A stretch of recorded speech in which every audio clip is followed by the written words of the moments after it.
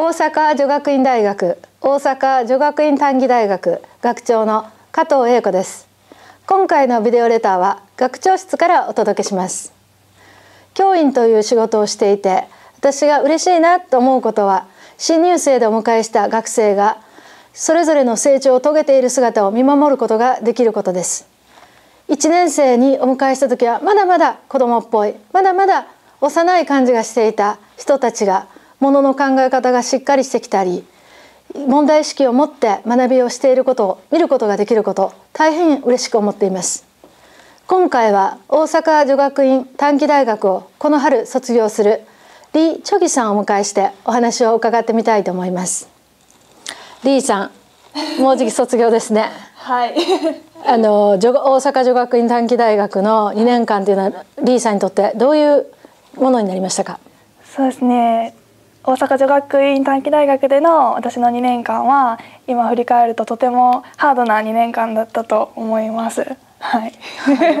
どんなところがハードだった？そうですね。えっとまあもちろん課題の量や質などもハードだったんですけれども、えっと、どうこなしていくかなど自分で試行錯誤しながら、えー、なしていくところが一番自分にとっては難しい面でした。はい。どんな学び、どんな気づきがありましたか？ね、今まで、えっと、グローバル的な問題に触れることが少なかったんですけれどもここでの学びは、えっと、世界的な問題などを取り扱っているのでそういった面ではあの日頃ニュースを見るようにもなりましたし、はい、とても学ぶことが多かったと思います。そうですか、はい、では大阪リーさんにとってね大阪女学院短期大学の魅力って何ですか、魅力はそうですね。自分が今まで発見できなかった可能性を探すことができるのがここでの一番大きな魅力だなと私は感じてます。もう少し具体的にどういうチャレンジをしたのか聞かせてくれるかな？あはい。えーと、いろんなコンテストが、えー、本学にあるんですけど、えーとそういったコンテストを受けてみたいという気持ちはあったんですけどなかなかえー、チャレンジすることができなくてでもいろんな人のサポートがあったので、えー、今回スピーチコンテストにも参加させていただいたんですけれども、えー、そういった今まで、えー、チャレンジしたことがないそういったものにチャレンジできたことが私の秘めた可能性だったのかなと今は思ってます。そうね、去年の今頃やったね、リーさんあの ECC のね、はい、コンテスト出たらどうかなって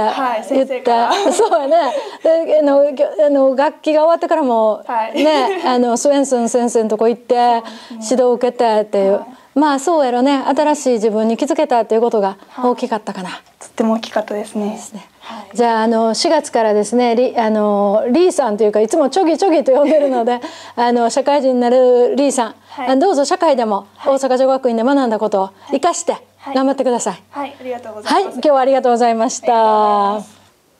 この春大阪女学院大学を卒業する谷脇千恵さんにお話を伺いたいと思います。谷脇さん、一、はい、年生の時も担任しましたけれども、はい、あのすごいおとなしいというイメージが私にはあったんですね。はいそれが4年生この春かな？あの保護者会で話をしてもらった時にうわびっくりするぐらい立派になってると思ったんですですが、どういうことが今の谷脇さんを作ってきたのかな？4年間振り返ってみるとやっぱり留学とかリーダーシップトレーニングとかいろんな行事に参加してでアフリカへの旅行とかそういういろいろ経験してきた中でやっぱり自分こうでありたいなとかそういう欲が出てきて自分自身もっと変えていきたいなもっとあれあの先輩女学院の先輩としてこう成長していきたいっていう思いがあって、うん、こう成長できたかなって。はい、理科女子大に留学するっていうのはハードルも高かったと思うんですね。はい、 TOEIC のスコアも要求されてるし、はい、そこのところはちょっとそのあたりお話してくれる？えっ、と TOEIC はかなり点数が低くて、まあ先生に一度 TOEIC の点数足りないんですけど、あのどうやって上がりますか?」って言って私200点近く全足りなくってで先生に無理ちゃうか？っていうぐらいなんか言われたんで、まあ、まあ何くそと思ってこう勉強しだしてあとは学生友達とあのその英語ができる友達が多くて、うん、で私結構できないタイプなので、うん、その友達ができただ私もできるようになりたいという刺激の試合でこう、うん、英語力も伸びたって思います。そうやね大阪女学院っていうのはやっぱりいいお友達がいるっていうところそこのところからもらえる刺激っていうのはあるかもしれないね。で理科女子大はどうでしたか？セメスター留学行って。えー、かなりこの学生もかなり知識レベルが高くて、それについていくのにも大変だったし授業も全部もう英語でもう日本語も通用しなくてわからないところも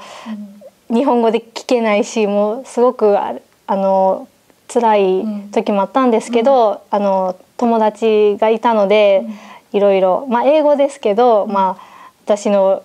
会話力英語力を理解して話してくれたりとかすごく相談に乗ってくれる友達がいたのですごく乗り越えることができました。うん、それは分かったね、はい、じゃあ大阪女学院大学の魅力っていうのは谷脇さんにとってどんなものですか？4年間在学している中で一番思うことは生徒同士がすごく刺激をし合ってあの成長できるっていうところがすごく大阪女学院のあの魅力だと思います。あそうですか、はい、あの4月からは社会人になる予定ですけれども、はい、どうぞ大阪女学院での学びを社会に出ても生かしてもらえたらと思います、はい、今日はありがとうございました。本日は2人の学生をお迎えしてビデオレターを作成しました。A 子の部屋からお届けしました。さようなら